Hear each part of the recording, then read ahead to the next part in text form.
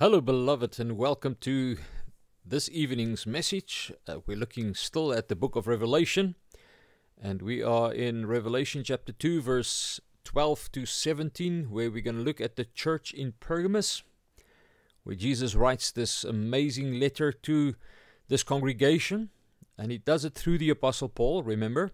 And he writes it to the messenger, or the angel, or the elder, or the pastor uh, of the church and he speaks to them in Pergamos, and he has quite a few things to say to them.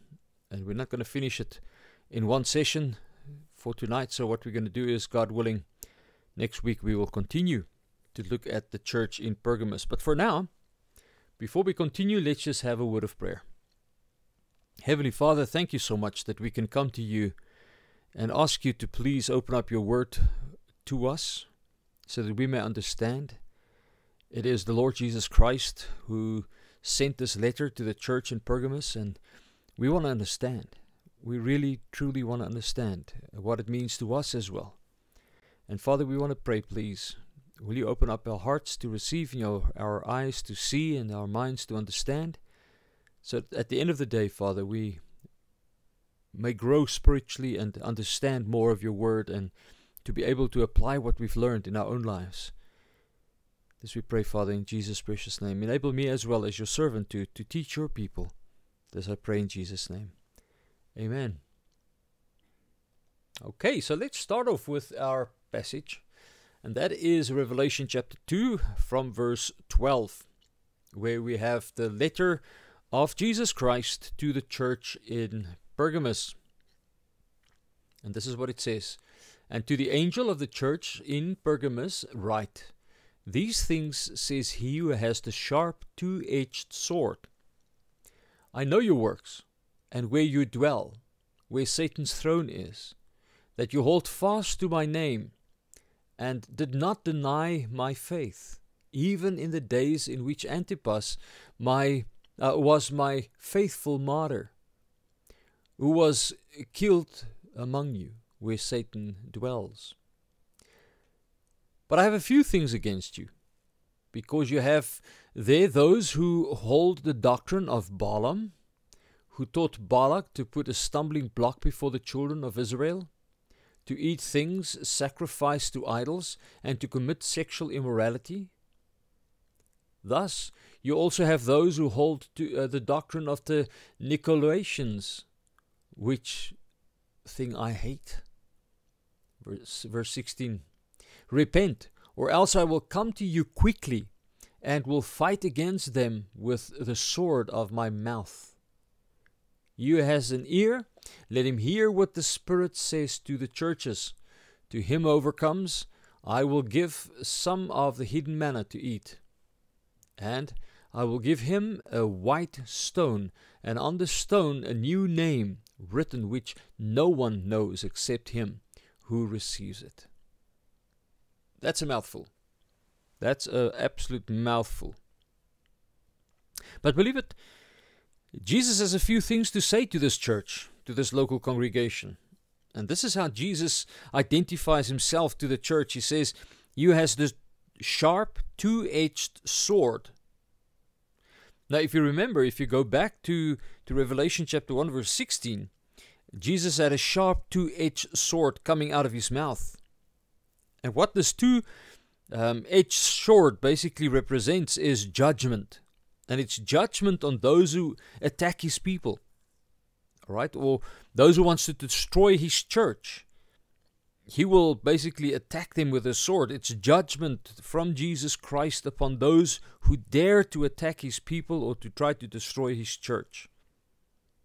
Now, Jesus says the following to the church at Pergamos he says, I know your works. Okay, so he knows the works of the church. He knows everything they do. Uh, what they do for him, uh, what they do for themselves, uh, whatever they do, Jesus knows what they did. That's that's for sure. Nothing is hidden from the eyes of Jesus Christ with regards to his church. He remember he's the one who walks among the lampstands. He's the one who sees everything that there is to see.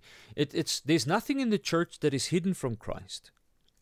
All right, but then there's another thing that Jesus says, and that is that He knows where they dwell. He knows where the church is located, because that is an important thing described here specifically with regards to the church in Pergamos. Now, the specific thing that Jesus mentions about the location is this that the church is at the same location where the throne of Satan is. Now, John MacArthur has the following to say in his commentary on this verse. He says, Where Satan's throne is, is basically the headquarters of satanic opposition and a Gentile base for false religion. On the uh, Acropolis in Pergamus was a huge throne shaped altar um, to Zeus. In addition, Asclepios, the god of healing, was the god most associated with Pergamus. His snake like form is still the, the medicine symbol even today. End quote. That's interesting. That medicine was associated with this snake like form, né? And that it's even the same thing today. The snake like deity um, form with regards to medicine. Now, if we go back to the Garden of Eden, you remember it was the snake, it was the serpent, uh, Satan that came in the form of a snake or a serpent that came to Eve and deceived Eve. Uh, it wasn't the snake, it was Satan was taking possession of the serpent.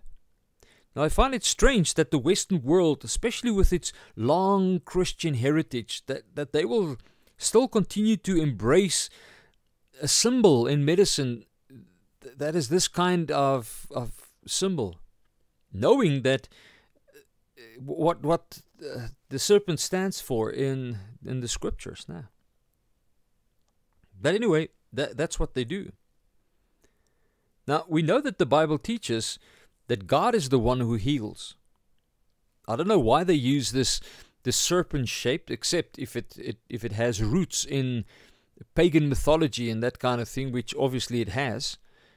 But I mean, we know from scripture, and especially anybody that's got anything to do with Christian heritage or Christian beliefs, they will know that we believe very strongly that God is the one who heals. God is the one uh, who can do the impossible. Uh, it's just very interesting that a deity like this will be accepted in medicine. Now, there was also in Pergamus a very famous medicine school, and it was connected to this uh, the the what do you call it the Asclepios temple. Now, at this medicine medicine school, according to John MacArthur, they basically mingled medicine with superstition. Very interesting. They mingled uh, medicine with superstition. It's it's much like what they want to do now in South Africa again. You know, bringing in your sangomas as traditional healers. Yes, they're traditional healers, but then registering them as medical doctors.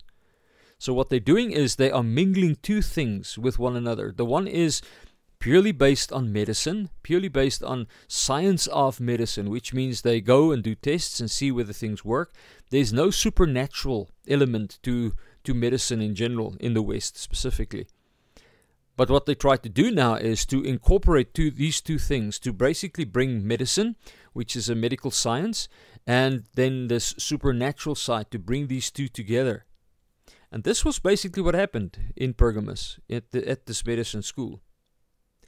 Now, superstition, if you if I could use a basic definition of what superstition is, superstition is a is a wild is widely held by but uh, how can I say yeah it's something that's widely held wildly wide widely sorry widely held but um, it's this irrational belief in supernatural influences that things can be influenced supernaturally the western world does not really completely accept the supernatural or the demonic or the occult world when it comes to medicine I know very few uh, to be honest with you, I don't know any at this stage. I knew one doctor, medical doctor, that would actually go into the spiritual side of things to to see whether there isn't a, a spiritual problem with the patient, and then also obviously look at the the, the physical side, nah, the medicine side of things. Uh, there there are a lot of how can I say doctors, medical doctors who are believers uh, who struggle to go to the Bible with regards to medicine. They they don't even go to the supernatural side.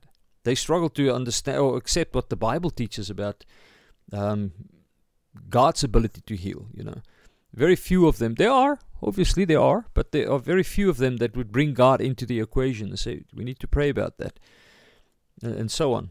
Uh, it's not a reflection on, on doctors in the in a negative sense. I'm just saying that's normally what happens in the medical medicine world or the medical world is you will find in the medical world that they are more how can I say prone towards just plain medicine, the science of medicine, rather than the spiritual side of things. Uh, that does not include supernatural things, you know, in the sense of uh, the way that Sangomas would do it. But anyway, um, superstition is is one way for the Western world to basically to try and explain the supernatural, uh, unexplainable things that actually happens, where people are actually truly healed. So, or where things happen, they will just plainly say, "No, that's superstition." You know, instead of tr- really trying to find out what, what what the source of this is, how how these things work, and so on. But anyway, um, I remember while I was on the mission field, that was, uh, and I was there for a few years. My understanding of the supernatural world really changed quite a lot. It was greatly shaped during that specific time. Now, I've learned that demons are indeed real, that they are spiritual beings, and that they are very real and that they can do real things to real people, even medical things. Uh, I've, I've seen uh, people whose legs swell up three, four times the size of, of their legs, uh, and it's because they've been bewitched. And then what we do is when we uh, come in the name of Jesus Christ and pray that God would deliver them from these demonic influences. Um, at the end of the campaign, and sometimes that same day or the next day or so on, the, the legs would be healed. Uh, we we have we we had many many um, situations where supernatural things really happened, and uh, medicine just couldn't get a how, how, can I say medicine just couldn't give an answer to what was really happening. Uh, and it was through prayer and God's grace and God's healing power that people were basically healed. And we give Him all the glory. Um, I'm not saying for one moment that we get the glory or anything like that. No, God gets glory. God is the one who, who heals people uh, according to His will whenever He wants to. All right, but there is definitely, I've learned that there is a uh, spiritual world out there, and there are spiritual realities that as a Western person, I uh, kind of used to duck and dive and try to get away from, but these things are very much real. Okay, and and I've learned that these spiritual beings, these demons, will take control of somebody's body, uh, if that if that person allows them to do so. I mean, demons possess people, and they enable people to do things that is just physically impossible to do. Demons also heal people We've seen that happen. Uh, seen demons uh, work in people, or how can I say, speak through people in tongues. You know, especially when it comes to healing, uh, demons will will heal people, but it will come at a cost. Normally, what they do is they were the cause of the sickness anyway. So what they do is they stop that sickness, and then they so healing has actually taken place, but they just cause another uh, sickness. That's basically how it works because they're the ones that basically started the sickness in the person in the first place.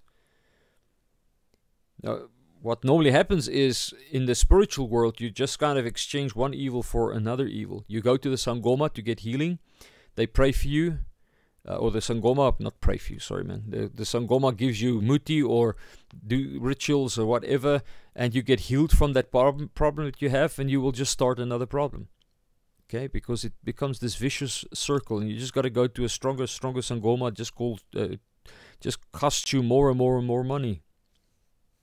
I remember working with a Sesotho lady uh, for for a few years and I mean she was quite sick, and um, she was told by the ancestors in a dream that she would she had to go and um, go for for tra- training to become a traditional healer, and if she would go for for that training, then she would no longer have that uh, you know that kind of illness.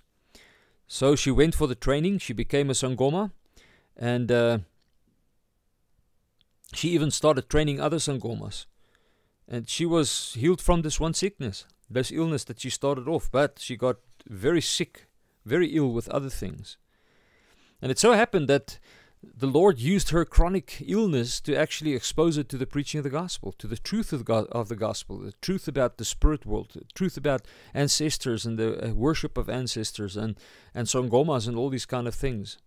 Uh, I remember she, she told us that she took her car to a panel beater who told her to to basically um, get her car fixed. That's how it happened, and uh, she got the car fixed. And when the car was fixed, he said to her, "All right, now the car is fixed. Now it's time to get your life fixed up." And he told her where a tent was, and that she should go there and go and listen to what they have to say, because we, he believed that the Lord wanted her to go to get her life sorted out and her life fixed up. You know, so um, by God's grace, she went and she she walked into the tent, and they were preaching the gospel and they were sharing on the, the spirit world and they were sharing on what the scriptures had to say about um, the spirit world and, and Sangomas doing these things through familiar spirits and what the scripture says that these things are an abomination in God's sight and, and so on. And as she was listening, she came very strongly convicted by the Holy Spirit that what she was doing was not right. And she went into the front of the tent and um, by God's grace, God saved her. Uh, at first, she was knocked out by the demons because the demons didn't want her to to speak to these um, evangelists. But uh, praise God, she woke up and she heard the gospel and she uh, came to a saving knowledge of faith in Jesus Christ, and the Lord delivered her from these demons. And she had a, a pharmacy with a lot of traditional stuff that was that she burned, and um, she was part of the team when um, I was there. I and, and I, I had time to sit with her hours and hours where I could just sit and listen and her help me to understand how the spiritual world works because I come from a background where these things were all just superstition.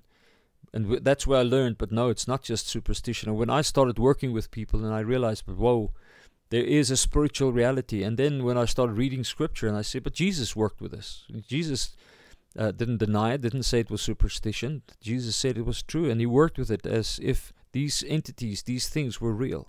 These uh, fallen angels were real. So he cast out demons, and um, he gave that authority also to his disciples. And we are called to cast out dem- demons whenever we see them.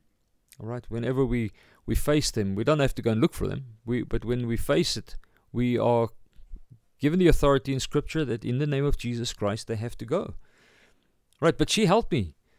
Um, you know, so the, the problem is that there are many people who are caught up in the works of darkness and they need deliverance. And the way they the deliverance can come to them because they are caught up in the works of darkness is through spiritual means. It is God through His Holy Spirit who delivers people from these demon influences.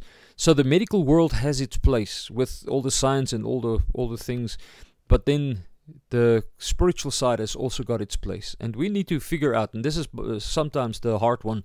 I would sit in counseling sessions with people, and I would listen to them, listen to their story, and many times I just had to say, "Listen, you want me to pray for your problem."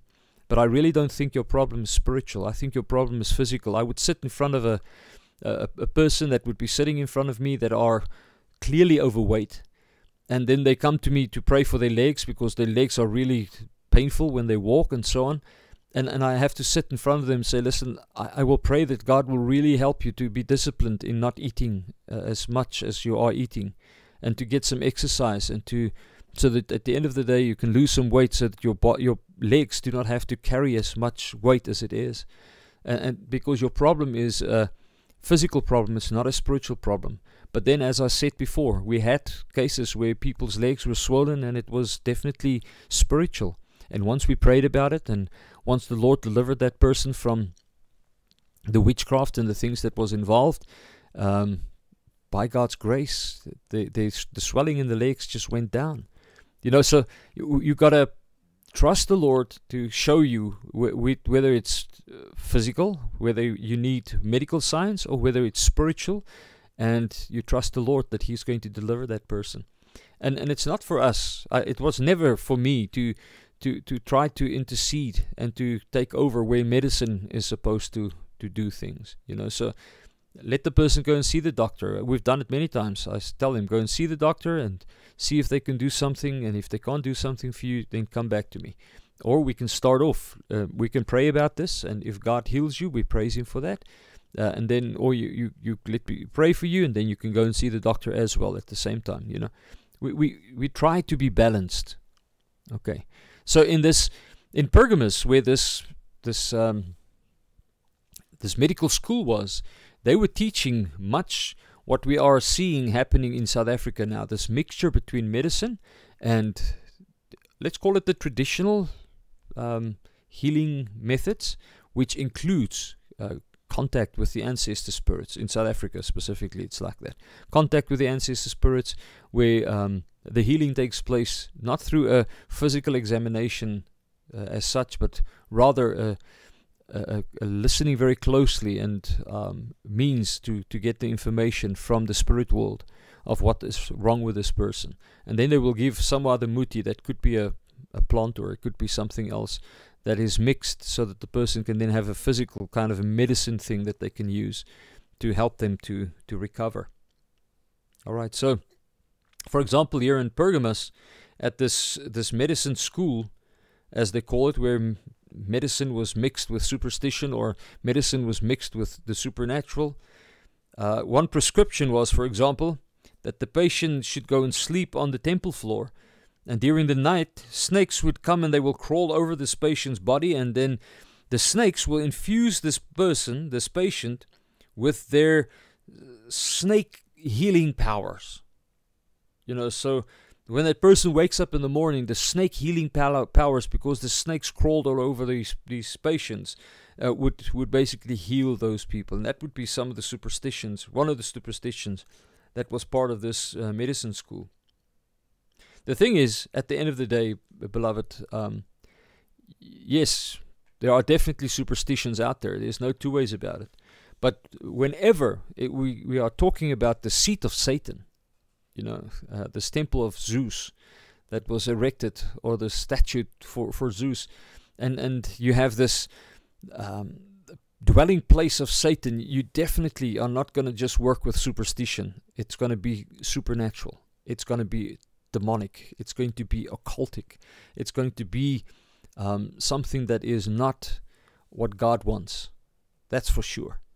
All right. So in the city of Pergamus, that is exactly what we what we see in that city. But in the, the medicine school, it, they, normally try to mix things. I, I take, for example, yoga. Yoga is something that comes completely from the from the east, uh, and where if you speak to gurus as well, if you speak to yogi, they will tell you that it is definitely something that you you make contact with the spirit world, the Kundalini spirit that moves up the spine of a person, for example, that goes through the different chakras. Uh, it is it is absolutely demonic, right? And and to get to the point where you are enlightened now, where the third eye is opened up and you f- you are illuminated. Um, you know th- those kind of things are all um, related to to Eastern religious practices. Uh, that's directly connected to the works of darkness or to the occult. And what they've done in the West is they've just taken those practices and westernized it uh, in a certain sense the way that they do it with medicine.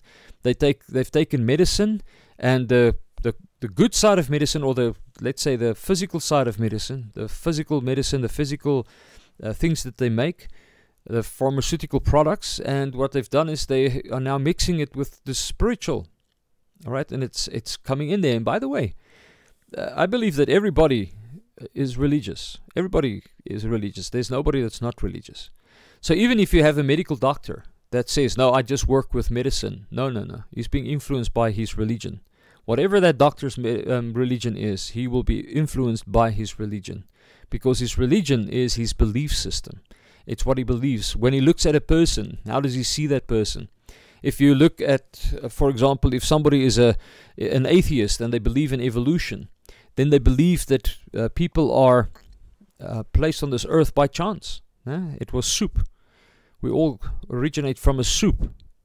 And um, an atheist will definitely not look at at, at um, human life the way that a Christian would, where we believe that we are created in the image of God.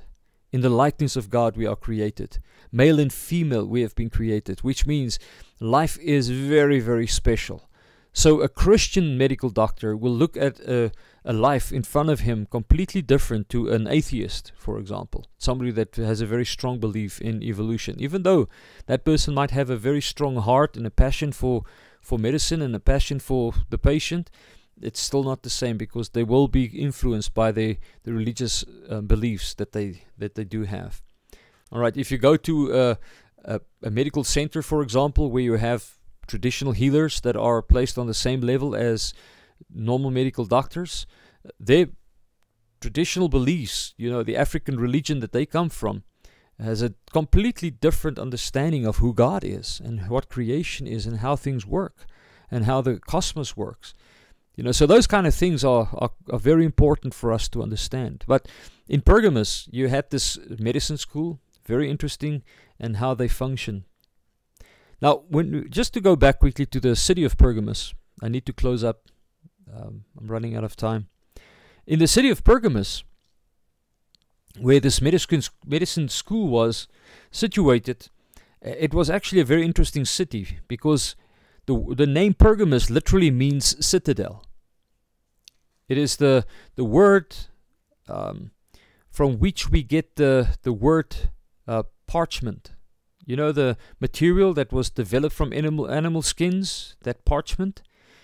Uh, it was uh, apparently first developed in this area where Pergamus is. The city was built on a hill about 305 meters high. Okay, and um, it, it was at the foot of a huge fertile plain of about 32 kilometers. You know, so amazing city to be in, very fertile ground uh, in this in this fertile plain area. And Pergamus was also the capital of the Roman of uh, the Roman province of Asia Minor for more than 250 years. It um, housed cults. A lot of cults developed from Pergamus that basically found their their homes in Pergamus. Uh, like for example, the cult of Athena, the cult of uh, the cult of Dionysus. Um, it's also called the cult of Bacchus the god of drunkenness. And then there's also the cult of Zeus. Uh, Pergamus was also the first city in Asia to build a temple to Caesar in 29 before Christ. And it became the, the capital of the cult of Caesar worship. So Pergamus was a very interesting city. And, and the amazing thing is, what does God do? What does God do? He comes and he plants a Christian church, poof, in Pergamus, right there where the seat of Satan is.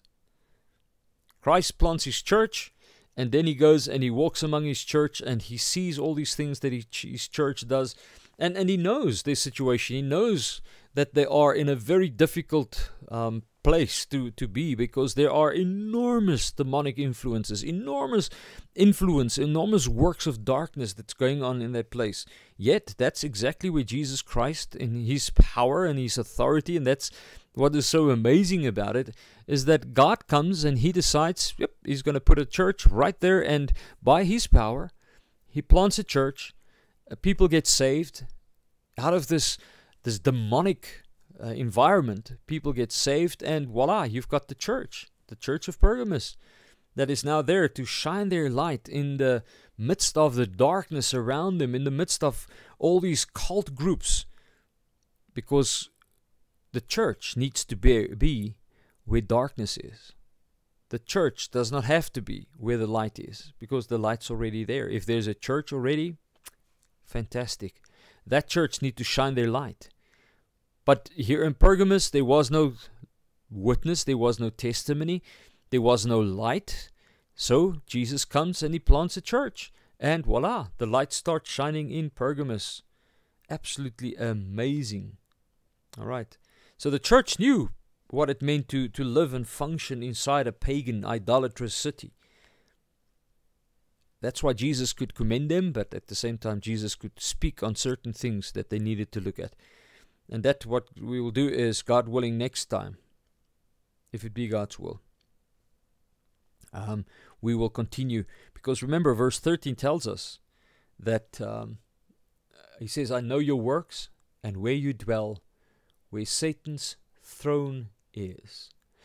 And you hold fast to my name, and did not deny my faith, even in the days in which Antipas was my faithful martyr, who was killed among you where Satan dwells. What a city, but amazingly more. What a place to be church, where Satan dwells. That's where the church started, and that's where, yeah, Antipas became a martyr. But we God willing, we can uh, look at it, God willing, next time. So let's close our eyes in a word of prayer. Heavenly Father, thank you so much that we can come to you again. And thank you so much that we can learn so much from this uh, the city, the city of Pergamos. And thank you for the message that Jesus Christ gives to us through this city. So that we can learn. And Father, I pray, please enable us to learn. There's so much to learn. And enable me as your servant to teach your people those things that they need to learn. And I pray, Father, please, in Jesus' name as well be with us. And as we dwell in in cities and towns where it's definitely not all light, I pray that you will enable us to be the kind of people that you want us to be. That our testimony will be a testimony that uh, in which you are glorified.